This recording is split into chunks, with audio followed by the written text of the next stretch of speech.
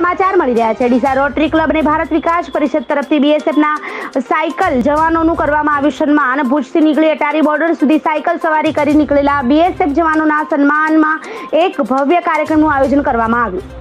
આજે Deesa rotary club અને ભારત વિકાસ પરિષદ તરફથી ભુજથી સાયકલ સવારી કરીને અટારી બોર્ડર સુધી નીકળેલા બીએસએફના જવાનોના સન્માનમાં રોટરી ક્લબના હોલમાં એક કાર્યક્રમનું આયોજન કરવામાં આવ્યું હતું જેમાં અંદાજિત પચીસો કિલોમીટરની સાયકલ સવારી કરી પાંચ સૂત્રો સાથે નીકળેલા બીએસએફના જવાનો બેટી બચાવો બેટી પઢાઓ સ્વચ્છ ભારત સુંદર ભારત ફિટ ઇન્ડિયા તેમજ કોરોના મુક્ત દેશ જેવા સૂત્રો સાથે નીકળેલા બીએસએફના જવાનોની આ કામની કદર કરવા માટે કરીને આજે રોટરી ક્લબ અને ભારત વિકાસ પરિષદના તમામ હોદ્દેદારો તરફથી તેમના ઉપર પુષ્પવર્ષા કરી સ્વાગત કરવામાં આવ્યું હતું.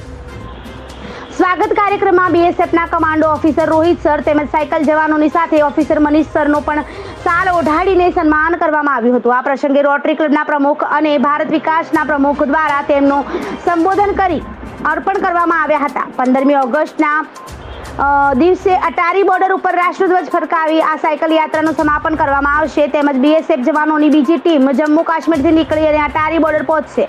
આજના પ્રસંગે બંને સંસ્થાઓના પ્રમુખો જેમ કે રાજેશભાઈ ત્રિવેદી ડોક્ટર પ્રવીણભાઈ ઠક્કર ડોક્ટર અજયભાઈ જોશી શાંતિલાલ ગાયત્રી લેબોરેટરીના મહેશભાઈ ઠક્કર ડોક્ટર મનોજભાઈ અમીન તેમજ રોટરી ક્લબના અને ભારત વિકાસ પરિષદના તમામ સભ્યો અને નાના બાળકોએ અને મહિલાઓ હાજર રહ્યા હતા બ્યુરો રિપોર્ટ પ્રકાશ ગોસ્વામી બનાસકાંઠા खुद से स्टार्ट होकर Attari joint joint check post तक जाएगी इसका दूसरा भाग बारामूला से स्टार्ट होकर श्रीनगर, जम्मू होते हुए जॉइंट चेक पोस्ट अडारी पहुँचेगा। इसमें हम टोटल 2500 किलोमीटर की दूरी तय करेंगे।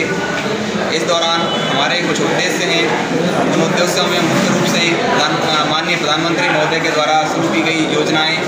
एक भारत श्रेष्ठ भारत, फिट इंडिया, स्वच्छ भारत, बेटी बचाओ, बेटी पढ़ाओ, इनका ज़्यादा से ज़्यादा लोगों को जागरूक करना है।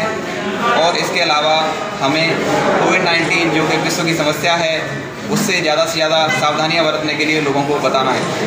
सर, कितने लोग ये में ज्वाइन हुए कितने कितने जवान इस रैली में ज्वाइन हुए इस रैली में पंद्रह साइकिलिस्ट हैं बाकी अदर उनके एडम स्टाफ हैं टोटल चालीस जवान इसमें पार्टिसिपेट कर रहे हैं।